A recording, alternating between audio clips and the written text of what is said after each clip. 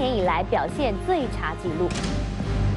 新年股市开红盘，投资人却是笑不出来。大陆沪深三百指数盘中一度大跌超过百分之五点零五，启动熔断机制，暂停交易十五分钟，但是止不住股市。度狂泻，暴跌超过百分之七，沪深三百指数在下午一点半就提前休市。整个形势大气候不是太好，呃，如果炒股票的话，需要慎重一。所谓熔断机制是一种保护机制，在交易过程当中，当价格波动幅度达到某一限定目标时，就暂停交易一段时间，控制交易风险。四号是大陆股市第一天实施熔断机制，没想到就已提前收盘做收。